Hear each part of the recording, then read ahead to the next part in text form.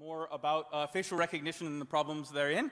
So I'm going to get off the stage. So please give a warm welcome to Liz and Suchi, who will be talking about facial recognition.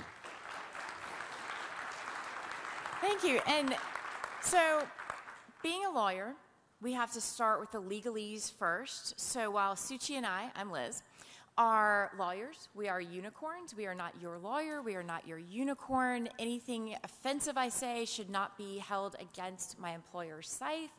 Anything brilliant that I say definitely, definitely should be reported back to Scythe of what a brilliant job I did on stage.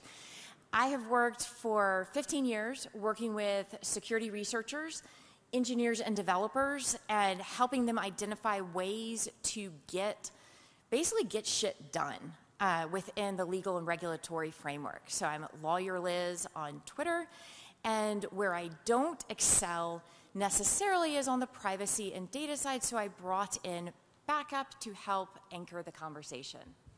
Hey guys, my name is Suchi. I've been a lawyer for the last what feels like forever. Um, I originally started in IT. I'm a super nerd. I went into law school to do data privacy and cybersecurity, and like Liz, left the law firm practice to go hang out with actual security and tech folks and do the law thing to help you guys out. So we are super excited to talk to you guys today about uh, facial recognition. And what we're going to be talking about is how facial recognition is ubiquitous, the issues that exist with the regulatory frameworks that we have now, and an action plan for those of you who are engineers and developers to help avoid the perils and also privileges. So, if anyone was watching the news this week, you may have heard of a settlement that if you thought Equifax was bad, yeah, Facebook just took one on the chin. Because who didn't like tagging people in photos? Well, what happens when it's automatic, when the suggestions are there? Because, by the way, Facebook, my brother and I are two distinct people. So quit trying to tell me that I should tag my brother as me in all of the pictures. Thank you very much. I had showered that day and even put on makeup. But when you start looking at all this great technology and when it starts getting it wrong, what happens? Because if you're looking for, you know, okay, we're going to send in the regulatory framework, yeah, at that point, the chicken's already out of the egg. And quite frankly, as we're going to talk about, the puppy is already a muffin. Yeah, so Facebook is doing its thing with users and getting sued for that, and that's great. And that's not where you want to be. And then you have Clearview, which recently popped into the news and then immediately was sued with a class action lawsuit as well.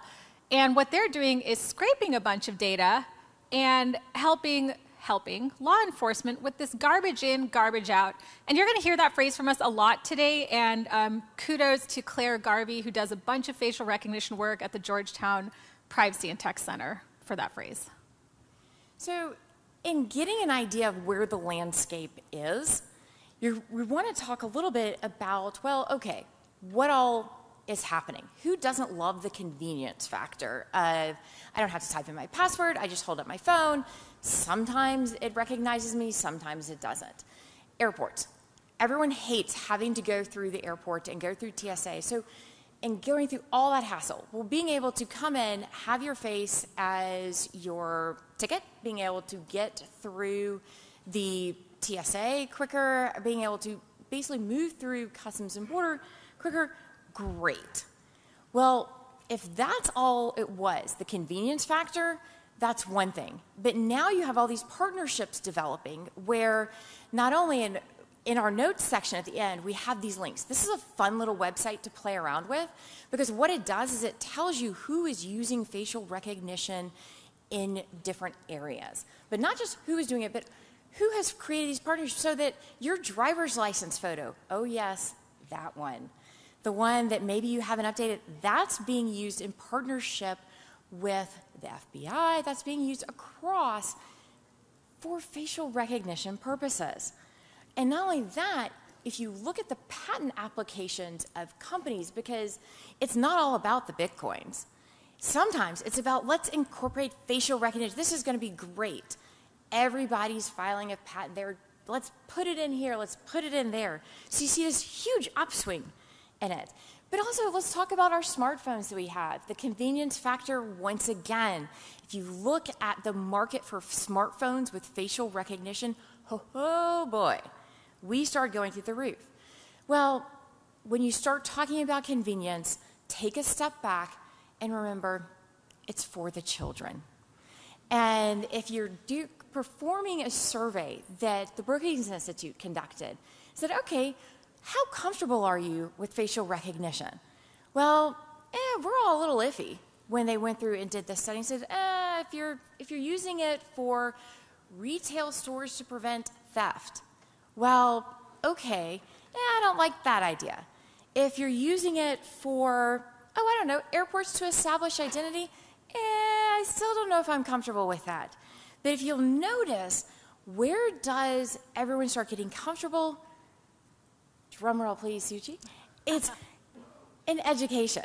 And okay, if we're talking about, all right, in schools to protect students, stadiums to protect people, you know, that's when you start seeing this shift. Which is kind of fun and interesting if you're a privacy nerd because students almost always lose their privacy rights, or pretty much every right, basically. And so colleges are having their college students install an app that tracks where they are, checks them into class. And in high schools, because of the whole school shooting environment, you have um, perpetual surveillance, and that data basically stays forever. So when we're talking about this loose idea of strictness with student data, um, that paradigm has been there for a while, and it's very worrisome that we're seeing it in the facial recognition area too. So, okay, we've collected all this data. You know that the convenience factor, well, why, where does it start becoming problematic? When you start looking at, for example, this GAO report that came out of where the DOJ has established all these different partnerships. So, again, we're talking about, oh, my driver's license photo. Well, what about my driver's license photo, my mug shots?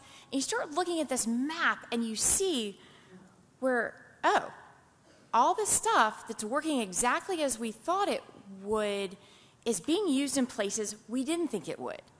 So, of course, not only for the children, regulators, Congress, everybody wants to jump in and say, all right, we'll save the day.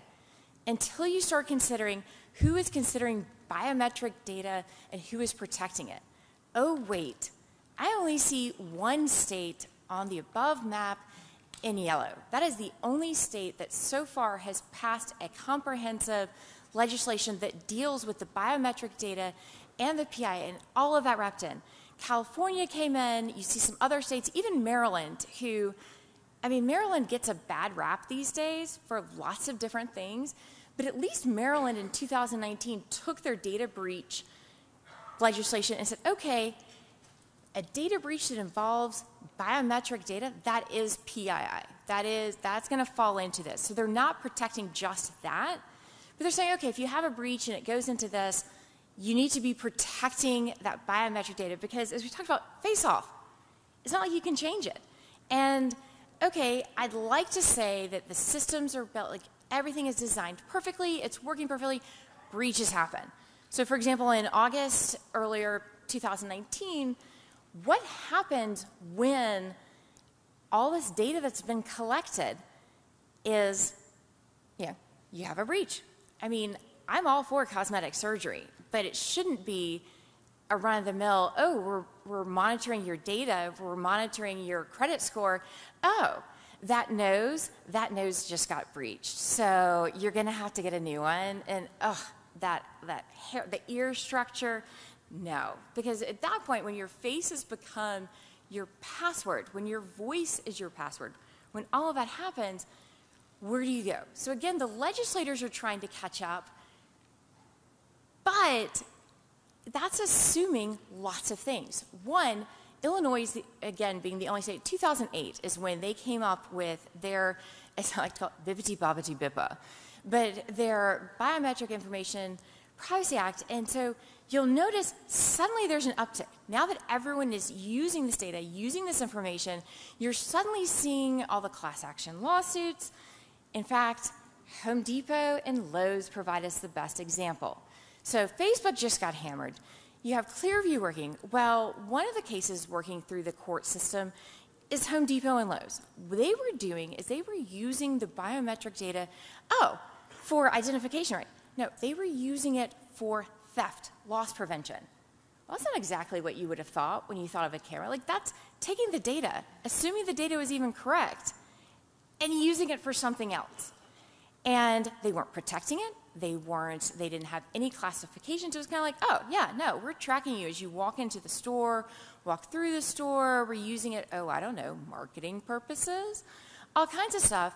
So all of this is getting exposed but what exactly is happening and how it was collected and how it's going to be used is a whole different story. Yeah, which brings us to what the hell is biometric data? And for BIPA, it's face prints plus some other stuff. But where face prints mean data points comprised of various measurements of person's face geometry, such as the distance between the eyes, nose, and ears, compiled into a string that can be stored and recognized. And the interesting thing is, it means that it can't just be like a blurry picture that your grandma has. It has to be a very specific set of things to trigger BIPA. So, face prints, which brings us to puppy in, muffin out. The algorithm has to have the right information go in to get the right information out. What's the puppy? What's the muffin? And Elon Musk was also like, what the fuck? Um, so, and that's assuming that I'm not messing with the data going in. That's assuming I haven't decided that a rhinestone face mask is not exactly how I want to go. That's assuming I am not a protester and trying to thwart the data and not corrupt it, not do that by 3D printing, oh, I don't know, Suchi's face and wearing that mask everywhere. That's assuming that what's going in is going to come out puppy in, puppy out. Okay, but blueberry muffin. If you were to 3D print my face and wear it, then would my fucking phone camera recognize me? Because I'd love that. No, I mean Damn mine doesn't it. even recognize me. So Fuck. Okay. yeah. All right, which brings us to um, the bias pieces of it. So, Hey Suchi, is the flash on? right, which actually encapsulates my entire experience in law school with the cameras that would face tag you. So, the long running joke with my friends was um, put the brown person in front and turn the flash on, because otherwise I was never tagged in any of the pictures. I was just like the wall and some teeth.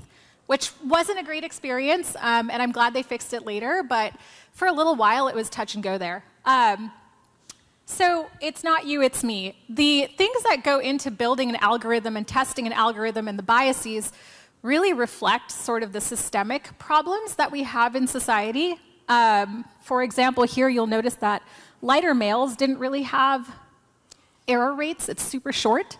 Yeah. And then darker females are just, eh, you know, fuck you, can't see you, don't know what you are, can't recognize you.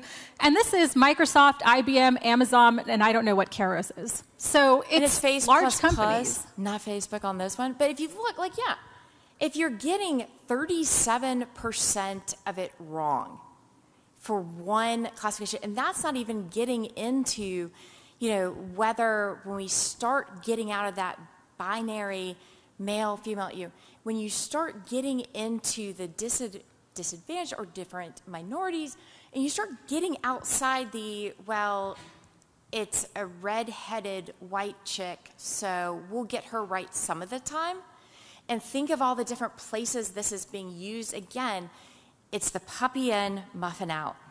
Which brings us to automated hiring systems, and your face is a liability. So there's been there have been some recent papers about automated hiring systems. Um, the Fortune 100 companies have really picked these up, and basically, you sit in front of a computer and you take an interview, and what it's looking at is what I'm going to call the newfound phrenology of the face. Does your expression and the things that you convey with your voice uh, fit the characteristics that your employer wants? And what it doesn't take into account is um, resting bitch face. Which it doesn't take into account that you may be on the call and bored to tears in an office that at the time had no windows in the back of administrative offices. And quite frankly, God, the call could not go any longer. So if you're making that expression, suddenly you're not going to get the job. Maybe you're thinking and you're processing the information, you're waiting for the question.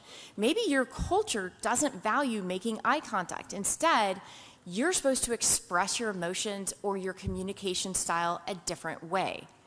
Maybe, well, quite frankly, again, you're just bored.